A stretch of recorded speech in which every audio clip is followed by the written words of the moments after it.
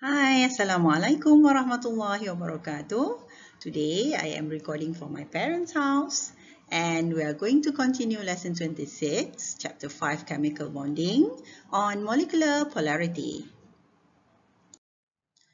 We are going to learn how to explain what is bond polarity and dipole moment and we are going to deduce the polarity of molecules based on the shape and the resultant dipole moment. Let's say we have a rod and then we scrub it with cloth, a piece of cloth, and then the rod would accumulate a lot of electron on it. It will become negatively charged. So we take that negatively charged rod to a stream of water in our kitchen and we can see that the water will bend. Deflection will occur. Why? Because water is a polar molecule. It has negative charge on the oxygen atom. Electron will repulse electron. So the stream of water is going to be deflected. What is a polar bond? Polar bond is bond that occur between the atoms that are polarized because of the difference in electronegativities of the atom. For example, we have hydrogen iodide, HI. Iodine is more electronegative than hydrogen. So if we calculate the total dipole moment, 2.1 minus 2.5, the total dipole moment of this HI molecule is 0.4.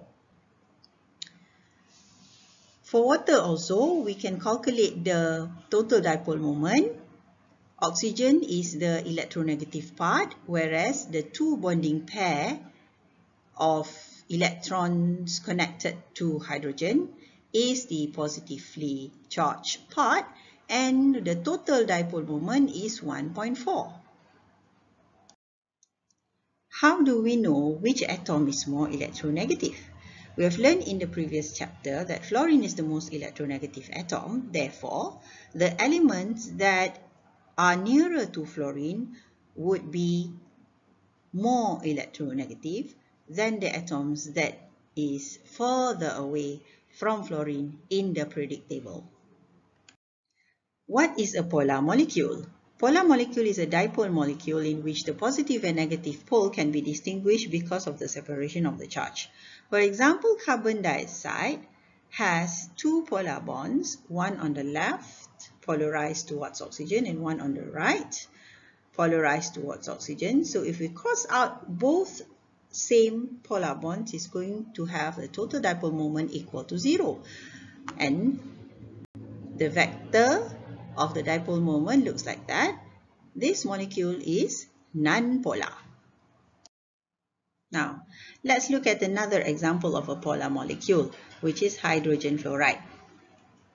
At the hydrogen part is the electron poor region and the fluorine part is the electron rich region. So, we put the arrow of the dipole moment towards fluorine and the end of the arrow would have a cross sign um, so that we know that this is the electropositive part. What is dipole moment? Dipole moment is a quantitative measure of a polarity of a bond that can only be measured experimentally. For example, just now we talked about carbon dioxide. It is a non-polar molecule having a dipole moment equal to zero. But hydrogen fluoride has a dipole moment not equal to zero. It has a value. The direction of a polarity of a polar bond can be symbolized by a vector quantity as shown here. The cross end of the arrow is the positive end for electropositive atom and the arrowhead is the negative end for the electronegative atom. ثم الآن افتح في صفحة 141 في example 5.11. Predict the polarity of compound below by showing the dipole moment HCl. Draw HCl using its molecular shape, linear, and then you draw the vector. The arrow is pointing towards Cl because Cl is more electronegative than hydrogen. And then we would know that this is a polar bond. Polar bond has a total dipole moment equal to not zero. It has some sort of a value there, 1.4, 2.1. So therefore, we can make a conclusion that hydrogen chloride is polar. The second molecule is carbon dioxide. It has two polar bonds, but the two polar bonds is symmetrically arranged towards the left and right part of the compound. We know that the total dipole moment is equal to zero because whatever value that it has, it will cancel each other off. So carbon dioxide molecule is a non-polar compound. But what happens if we have covalent bond between same atoms? Covalent bond between atoms of the same element is nonpolar. So, if we have same atom in one compound of a covalent molecule, the bonding electrons are shared equally. For example, 5.12, please write all these molecules down. F2 O2, O3, and N2, nitrogen gas. When we have different atoms, the covalent bond between them is polar because the bonding electrons are closer to the more electronegative atom. However, molecules could be polar or nonpolar depending on its shape. Molecules with different atoms and symmetrically arranged are polar. For example, 5.13, HCl is a polar molecule. For molecules which have different atoms symmetrically arranged but the total dipole moment is equal to zero, they are nonpolar. For example, CCl4, you can see that the four bonding pairs are pointing towards the terminal atom chlorine and all of them will cancel each other off. Another example of a symmetry molecular shape is SF6 which have six bonding pairs of electron whereby each bond is polar but since the shape is symmetrical they will cancel each other off also. But for this molecule, it has different atoms as terminal. It is symmetrically arranged, but it still have the dipole moment not equal to zero. Therefore, CCl3H is polar. The difference in dipole moment arises because hydrogen atom is the different terminal atom compared to the other three chlorine atom. Another example of a symmetrical shape which is polar is chloromethane, CH3Cl. This molecule is polar. But what happens to the molecules which have lone pairs on the central atom? Yes, as we can guess and predict, these molecules are usually polar because the lone pairs versus lone pairs of electrons is going to have a stronger repulsion whereby the shape is going to be asymmetrical and having bond pairs, it would have a value in its dipole moment.